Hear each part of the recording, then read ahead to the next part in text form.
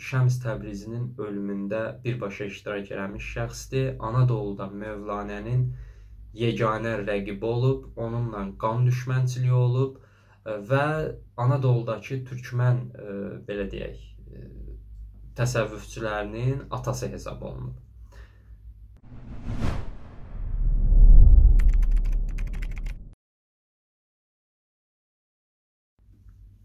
Salam əziz daha tamaşaçıları. Mən bu gün sizə Azərbaycanda və Anadoluda məşhur olan bir personaj haqqında danışmaq istəyirəm. Hansı ki, o həm də 20-ci əsr Azərbaycan maarifçilik məktəbinin simvollarından biridir. Söhbət Molla Nəsrəddindən gedir. Bəzi Azərbaycanlı oxucular elə başa düşür ki, Molla Nəsrəddin sadəcə bir lətifə qəhrəmanıdır. Halbuki Molla Nəsrəddin tarixdə yaşamış və Mövlanə ilə ciddi şəkildə mübarizə aparmış və mübarizəsinin də adı tarixə Ahi Evran mübarizəsi kimi düşmüş bir şəxsiyyətdir.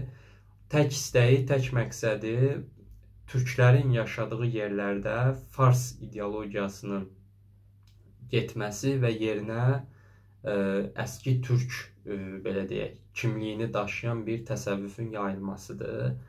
O bu mübarizəni apara bilibmi, bilməyibmi indi danışacağam və bir məsələ də var. Cəlil Məmmədquluzadə əbəs yerə Molla Nəsrəddini seçməmişdi bir rəmz olaraq, bir simvol olaraq. Çünki e, Mirzə Cəlilin də, Molla Nəsrəddinin də tək məqsədi türklərin e, biraz daha lokal danışsaq, Azərbaycanlıların öz milli kimliklərinə, milli kodlarına geri qayıtması idi. Kimdir Molla Nəsrəddin? Əgər bir manşet atsaq bu çıxışa, təxminən belə bir manşet çıxar ki, o Şəms Təbrizinin ölümündə birbaşa iştirak eləmiş şəxsdir. Anadoluda Mövlanənin yeganə rəqibi olub, onunla qan düşmənçiliyi olub e, və Anadoludakı türkmən e, belə deyək, e, təsəvvüfçülərinin atası hesab olunub. Həmin şəxs türklərin təbirincə desək Nasreddin Hocadır. Tam adı Abbas Vəli e, Pir Mahmuddur. E, bilinən odur ki, təsəvvüf, irfan, İslamın eşq yolculuğu Təbrizli Şəmsin Mövlanənin tapması ilə Anadoluya ayaq bastı. Anadolu torpaqlarındakı ilk irfan qeybətləri də e, Şəmslə Mövlanənin o 40 gecəlik inzivasından sonra belə deyək başladı. Halbuki türkmən şeyxlərinin dövlət siyasətinə çevrilmiş bir halı, daha doğrusu üslubu da var idi həmin vaxtı. Bu irfanın bir qədər pərdə arxasında qalırdı. Hansı ki Molla Nəsrəddin onu pərdə arxasından belə səhnəyə çıxarmağı bacardı. Tarixdə Ahi Evran hadisələri kimi qalan Mövlanə və Molla Nəsrəddin arasındakı soyuq müharibə Təbrizli Şəmsin edamı ilə qan davasına çevrilir və Monqolların işğalı zamanı Molla Nəsrəddinin öldürülməsi ilə bitir. Molla Nəsrəddin 1171-ci ildə Azərbaycanın Xoy vilayətində anadan olub və 1262-ci ildə Türkiyənin Kırşehir kəndində vəfat edib. Əhməd Yəsəvinin tələbəsidir. Hacı Bektaş Vəli və Mövlanə ilə eyni vaxtda Anadoluda məşhurluq tapıb. Tarixi qeydlərdə adı Nasir Üddin Əbülhekayu Mahmud Əl-Hakimi keçir. Hər kəsi qorxudan Evran adlanan böyük bir ilanın onu görən kimi sakitləşməsi Nəsrəddinə Evran ləqəbini qazandırır. Orta Asiyadan Anadoluya köçən Səlcuqlu türklərindən biridir. Konya və Kayseridə ahilik təşkilatının yaranması və yayılmasında böyük rol olub. Böyük türk ozanı Yunus Əmrə də həmin təşkilatın üzvlərindən biridir və Yunus Əmrənin ahiliklə belə deyək, Bektaşilik arasındakı bir seçimi də var. Onun həyatında elə bir dönəm də var. O haqqda da gələcək videolarda danışarıq. Molla Nəsrəddinlə Mövlanə arasındakı ən böyük ədavətin e, səbəbi də Monqolların Anadoluya hücumu idi. Çünki Mövlanə Monqolların gəlişini dəstəkləyirdi. E, Nəsrəddin Hoca isə buna qarşı çıxırdı.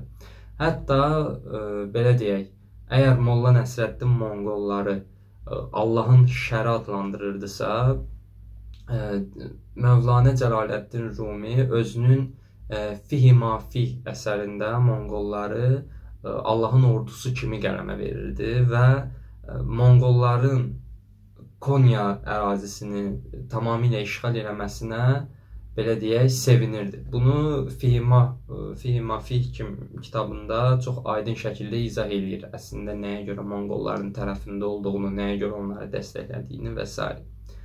Gələk ideoloji qarşıdurmanın səbəbinə. Nə idi Mövlana ilə Molla Nəsrəddinin ideoloji qarşıdurmasının təfərrüatları?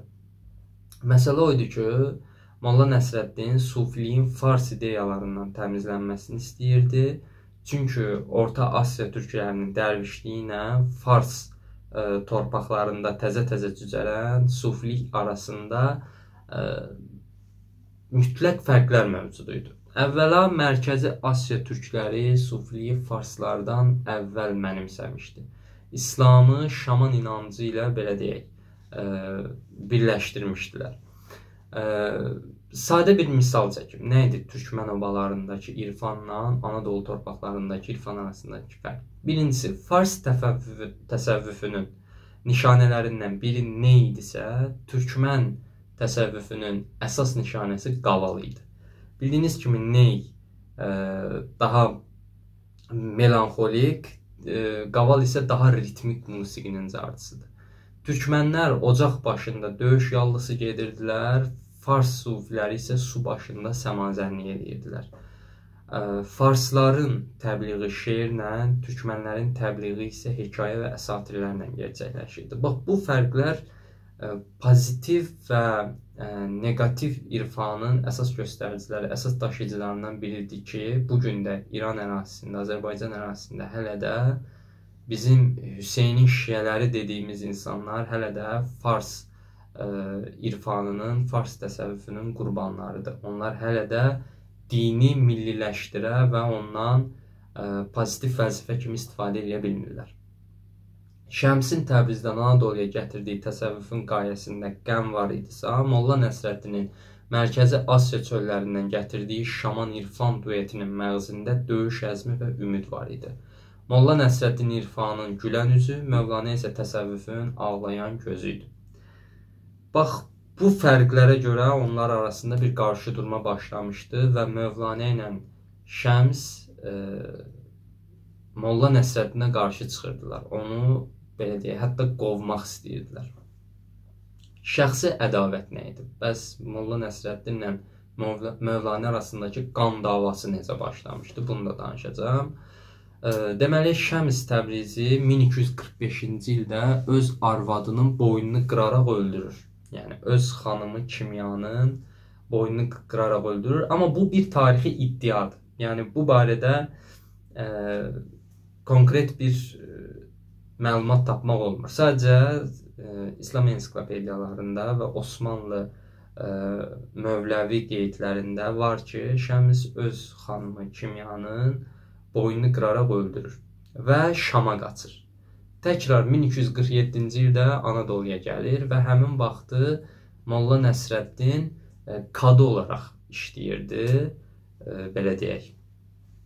E, həmin ərazidə bizim indi hakim dediyimiz bir mərtəbədə idi və o Şəmsin Şəms haqqında gəzən söz-söhbətləri təkrar araşdırmağa başlayır. Mövlanədən üz döndərmiş oğlu Ələddin var. Həmin Ələddin də Molla Nəsrəddin araşdırma qrupuna daxil olur və Şəms Təbrizini axtarmağa başlayırlar və Ələddinin köməyi ilə Şəmsi Mövlanə dərgahından qaçırmağı bacarır.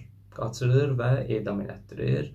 İndi Mövləvilərin və bəzi e, sufi eşqi ilə yaşayan insanların ki, buna Azərbaycan məşhur şairi Həmid Erisçi də daxildir. Məsələn, o da düşünür ki, əslində Şəms ölməyib, qeybə çəkilib. Yəni belə bir e, iddia da var.